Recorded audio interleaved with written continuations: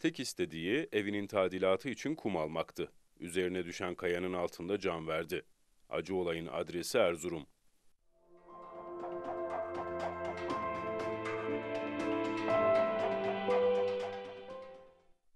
Tortum ilçesinde yaşayan 24 yaşındaki Hüseyin Ay'ın evi tadilattaydı.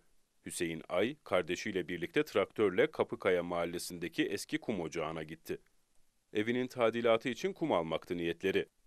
Hüseyin Ay, kazma kürekle çalışma yaparken beklenmedik bir şey oldu. Kum ocağının üst kısmından kopan kaya Hüseyin Ay'ın üzerine düştü. Kardeşinin haber vermesi üzerine olay yerine sağlık ekipleri sevk edildi. Hemen müdahale edildi ama talihsiz gencin hayatını kaybettiği belirlendi.